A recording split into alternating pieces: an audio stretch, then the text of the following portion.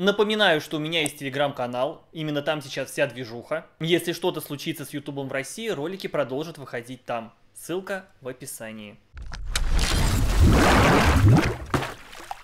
Привет, просветители! Сегодня будет достаточно нестандартный ролик для меня. Обычно я либо обсуждаю с вами какие-то новости, трэш, либо высказываю свое мнение на какую-то тему, не менее трэшовую. Но вот именно обычного разговора на этом канале не было, пожалуй, с... Да, наверное, никогда. И вот сегодня мне хочется просто с вами поговорить, рассказать о своем состоянии, поделиться тем, что меня сейчас волнует. Некий лайф-апдейт. Тем будет достаточно много, я попытаюсь мысли как-то сгруппировать, но чтобы это не совсем был неконтролируемый поток сознания. Сразу же скажу, если вы принадлежите группе 8 лет, или считаете, что все россияне одинаковые, и если на твоей головой не взрываются бомбы, то рот закрой, можете прямо сейчас написать свой очень важный комментарий с проклятиями в мой адрес и закрыть это видео. Потому что оно вряд ли вас чем-то порадует или вызовет какие-то позитивные эмоции. А сейчас они бы нам всем не помешали. Если вы сторожил на ютубе, то, наверное, помните времена, когда все гламурные старшеклассницы, да и не только старшеклассницы, снимали ролики «Мое утро», где под соответствующую музыку создавали свой вариант утра американского подростка.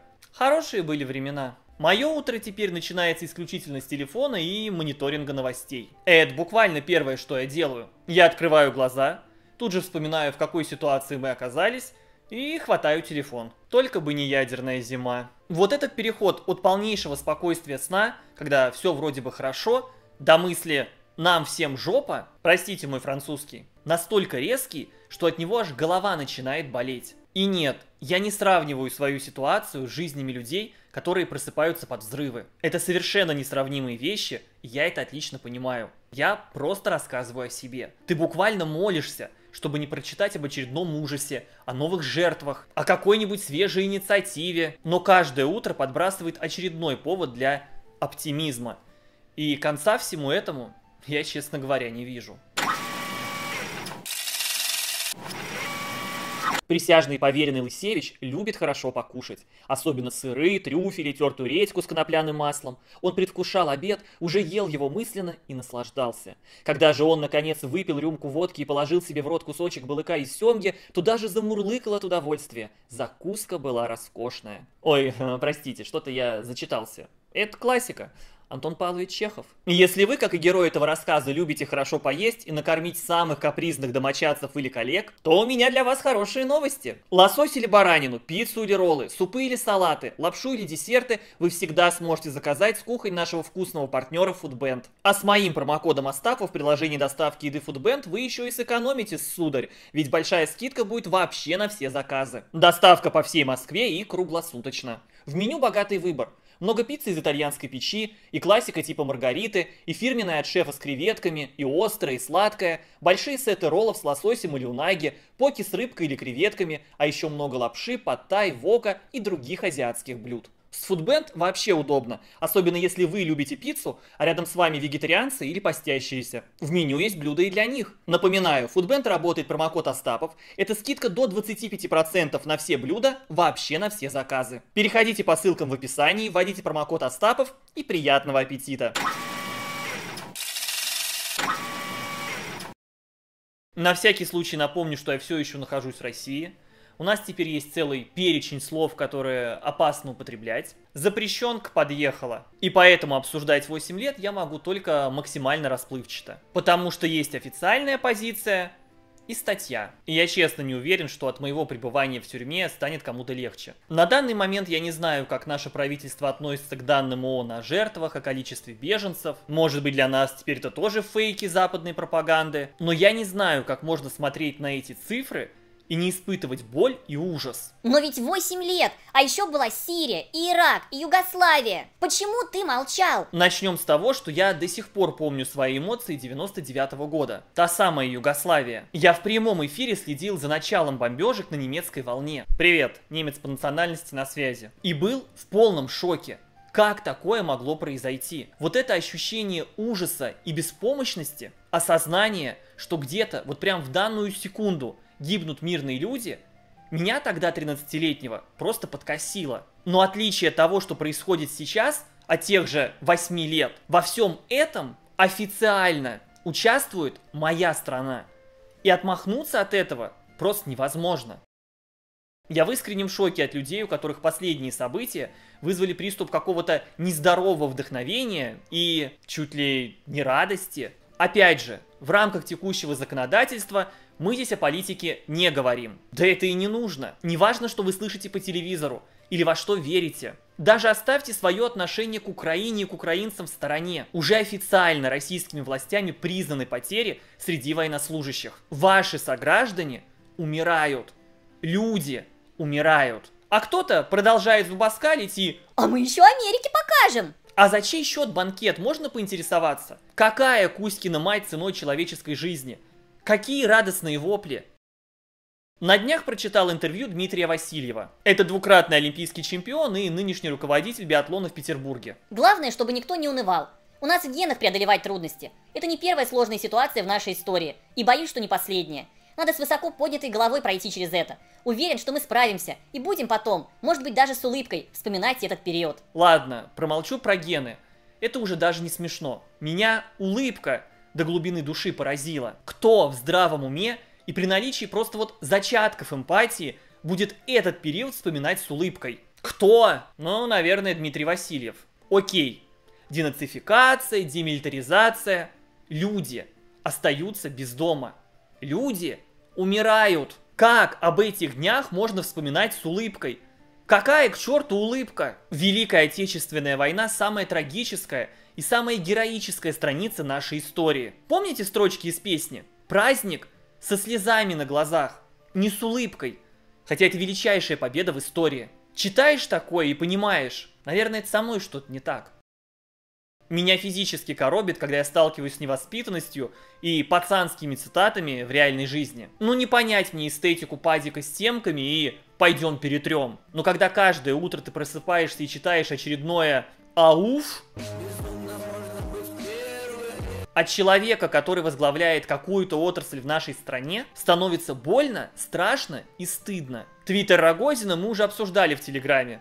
Вот, пожалуйста. И когда ты понимаешь, что для официального российского лица такие высказывания это норма, становится понятно, что шансы для будущего с правами, уважением к личности человека не очень много, потому что вот эта манера вести разговор – это наша с вами новая реальность. Ну хотя, как новая? Глава Роскосмоса, оскорбляющий людей в заблокированном для россиян Твиттере. Теперь это норма.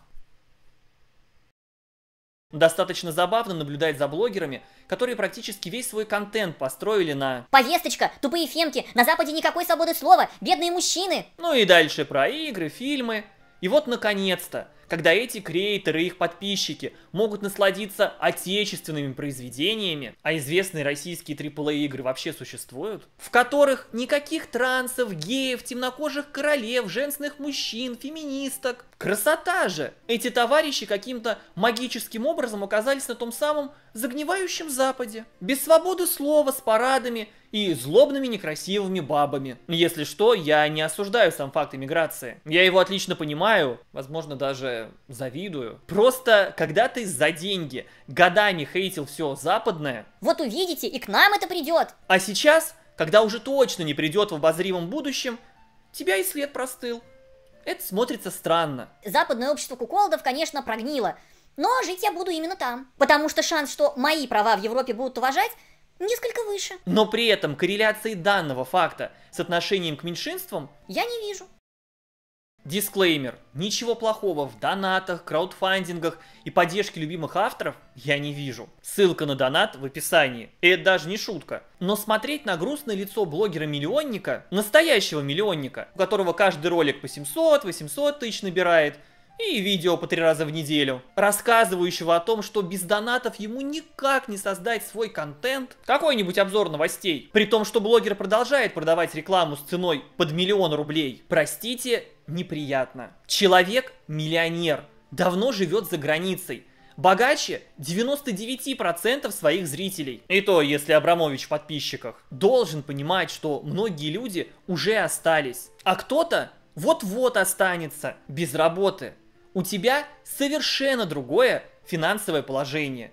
но ты рассказываешь подписчикам, что... Монетизации нет, денежки пропали. Если не поддержите, видосиков не будет. И люди-то верят, но своих коллег-то не обмануть. Хотя, возможно, это только меня удивляет ситуация, когда миллионер, возможно, даже долларовый, просит финансовой помощи у человека с зарплатой 1015. А самое главное, ну не то сейчас время, чтобы жертву разыгрывать. На всякий случай, я не говорю о небольших блогерах, которые реально сейчас едва концы с концами сводят.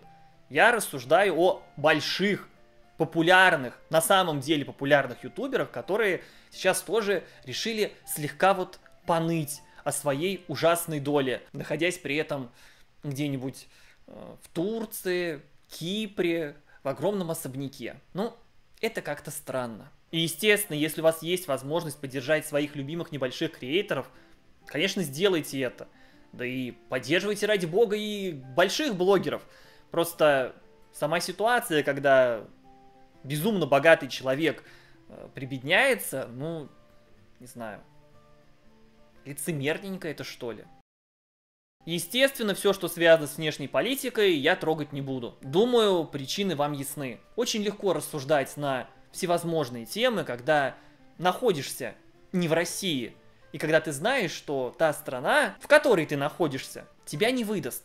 А вот что касается внутренней, я практически не сомневаюсь, что в ближайшее время нас ждут активные поиски врагов. Может быть это ты? У нас теперь есть четкий образ внешнего врага, но с ухудшением экономической ситуации народу этого будет маловато. Придется родных бузатеров искать и предателей Родины. Найти козла отпущения – идеальная забава для общества в кризисе. Всем полезно. И правительство от себя внимание отведет, и народу будет чем заняться. Вот все те горячечные выступления о child-free экстремистах, которые мы с вами здесь неоднократно обсуждали, ждите их в новом объеме со всеми сторонниками Запада, противниками традиционных ценностей, феминистками, толерастами и прочими. Теперь еще, правда, новая группа добавилась.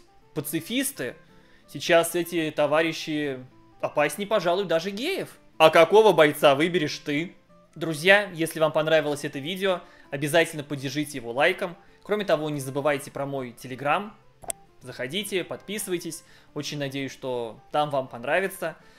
А я встречусь с вами на следующей неделе, в понедельник, в 17.00 по Москве, в моем новом видео. Если, конечно, YouTube не заблокируют. Всем хорошего дня и до встречи.